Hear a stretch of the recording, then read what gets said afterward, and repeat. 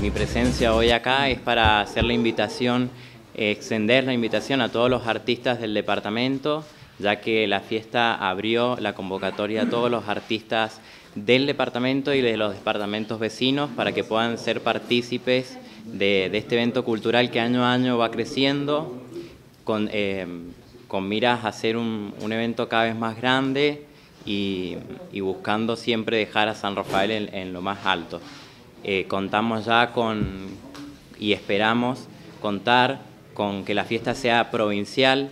Se dio media sanción al proyecto de ley en la Cámara de Diputados de la provincia y eh, se espera que los senadores del sur interpelen para que este proyecto pueda salir adelante y tener la sanción definitiva. La fiesta va a ser el 15 de febrero en el Centro Integrador Universitario. La fiesta año a año va innovando con, con tecnología, con iluminación y demás. Este año tiene un nombre que se llama Hectáreas de Sueños. Eh, se pretende seguir creciendo en cuanto a la cantidad de artistas.